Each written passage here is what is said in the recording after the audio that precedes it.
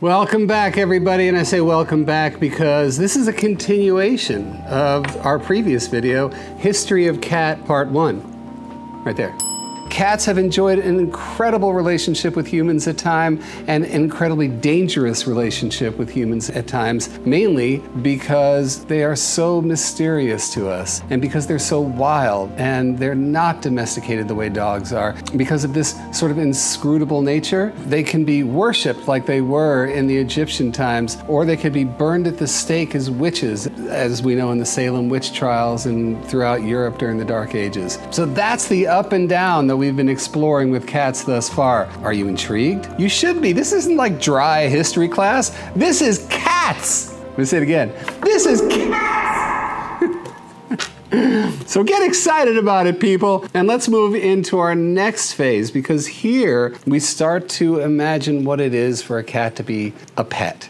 Cats were primarily workers, whether they be on ships or farms or anywhere like that where food supplies are threatened, there were cats there. And there came a point where they started to turn in their relationship with humans and become more, quote unquote, domesticated. Now, here's the crazy part all of that happened in the, the bat of an eyelash in terms of the, the, the, overall timeline of cats in this world. And we're talking about the last 200 years or so. 200 years out of millions of years is when cats started becoming family members in a, in a real way. And that's what we're going to talk about today.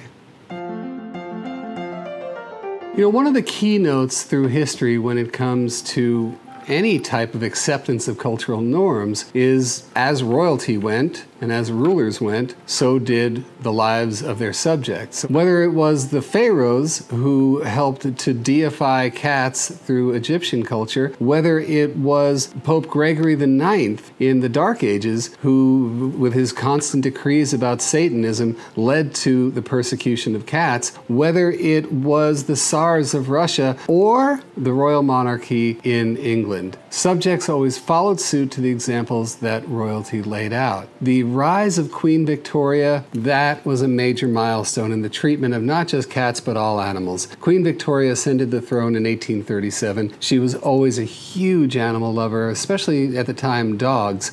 But over time, animals just kept flowing into the palace of all different shapes and sizes, including cats and donkeys and birds and all kinds of animals. And she had many children, I think eight children, and those children loved animals as well. And so you see the emergence of animals sitting next to princes and princesses and the queen during in, in photographs and paintings of the time. So we knew that she was a great animal lover. As a matter of fact, the SPCA in England was formed in 1837, which was the one of the first organizations dedicated to animal welfare. In 1840, Queen Victoria allowed them the royal patronage, adding the R to RSPCA and lending that air of legitimacy, which was really needed at the time. That was a really important turning point. I mean, think about it. She says, I love cats. Everybody should love cats. Everyone's like, okay, I'll love cats too. And sort of bring them into their homes, out of the fields, away from just the barns, and allowing them to live with the humans as part of their family. And that sets off a whole big chain of events. And I'll just start, you know, knocking them down here. I mean, we had the first cat show in London, which was 1871. And of course, now we start seeing the breeding of cats and, and breeding for certain looks and certain temperaments, and that's starting to take hold. Then we see the mass manufacturing of cat food in Britain,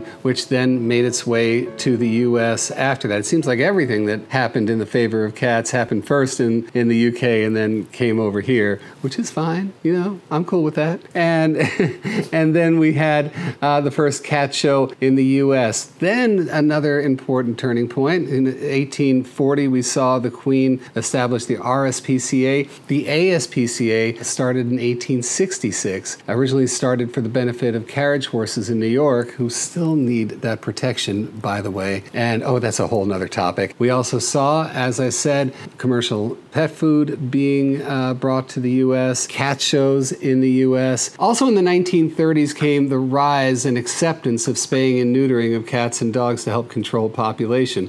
Again, it's a kind thing to do. It wasn't just about, oh, they're pests It was about we don't want to make so many that we have to kill them. During world wars, when meat and fish were rationed, we saw the advent of dry food to feed to cats, and of course, that's become one of the biggest industries around. In 1947, Ed Lowe invented cat litter. That is important, folks. Why is that? If you wanted to have your cat in your house, you would have, you know, chimney ash in a box where they would go, or dirt. And then, of course, you had dirty paws tracking stuff all over the house, even though the poop and the pee might be in a box or whatever. But by establishing cat litter, we were really rolling out the red carpet for cats to finally be in our homes on a more full time basis. Just a quick little reminder whether we're talking about the timeline of cats through history, uh, the relationship with Queen Victoria, the advent of cat litter, and all stops in between on the cat and human timeline, it's all here in my book, Total Cat Mojo. So check that out as well, because uh, we put a lot of work into this one, and I think that you'll find it really entertaining. And the more urbanized we became, the more cats came with us in those homes the advent of the suburbs, the high rises, apartment living, and with that, cats were definitively indoors in many in many places. And yes, they still did their jobs in farms, on on boats, in in stores and bodegas that we see in the U.S. But they also were becoming family members in a more real way. By the 1970s, and this is especially in the U.S., but in the 1970s, veterinarians started to really recommend that cats be kept indoors to keep them safe from things like cars and, and predators and mean people or whatever could kill them early, uh, along with recommending spaying and neutering. Most rescue organizations and shelters were mandating spaying and neutering to help protect population growth. In this incredibly short span of time, cats were becoming family. In fact, there was a study done just a few years ago that showed over 80% of families in the US considered their cats family members. I mean, Velouria, my beloved Velouria, who right here in my arm, right here in my heart, she was with me for 26 years. Half of my life, she was with me. And that made for one of the most important and deep seated relationships that I've ever had. And that also marks our, our turning point with cats. Look at how far we've come. And in this little evolutionary drop in the bucket from, let's say, the 1830s with the rise of Queen Victoria to now, that's nothing, folks.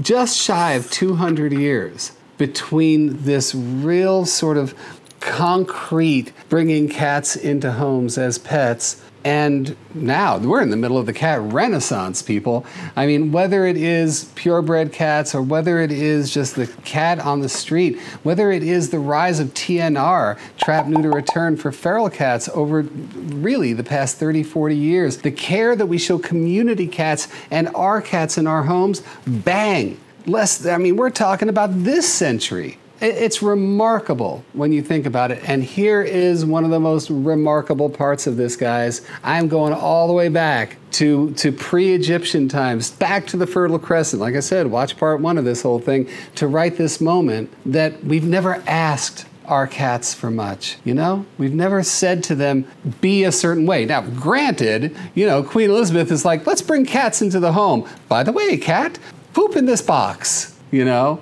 Okay, that's asking a lot. By the way, cat, please don't scratch my curtains or my rugs. Well, that didn't work either, you know? But we found ways around that over time. We accept cats for who they are, or we should. And, and one of the things I always tell you is that as opposed to dogs who will gladly jump over the communicative fence and say, hey, what do you want? Cats won't do that. Cats have not been bred to do that. The cat's story is not about jumping over that fence. Our story with cats is about meeting at the fence. And, and now, as we talk about the cat that sits in your lap, who speaks on a daily basis through their DNA to that cat, to, to catus six million years ago, to the, to the Near Eastern wildcat, that cat We should be appreciating for the mystery they still retain for the part of us that, that goes, I, I don't know what you're doing or thinking. And you know, I do that sometimes. I, I don't know everything about the cat that's sitting in my lap, and I like it that way. That's the thing that really draws me to them. That defines us. Now, right now, we're at a tipping point in this history.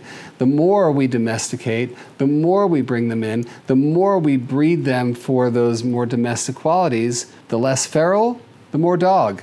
We're right there. I think it would be a shame to lose that wild. I love cats because they deign to be in my lap, because they enjoy being in my presence even though they are somewhat wild. And I hope you do too. And I hope by understanding this history, you more appreciate the wild that is in your home. That sometimes when they don't do what you want them to do, which I know is a lot of the times, it's okay because long ago we made that deal with a cat that, you know, come along on this journey with me. I won't ask that much of you. You don't have to ask that much of me, but we'll have a good time together. Anyway, that's my history of cats. I hope you enjoyed it. Like I said, go back and watch part one if you want to know all of the good stuff from the millions of years ago.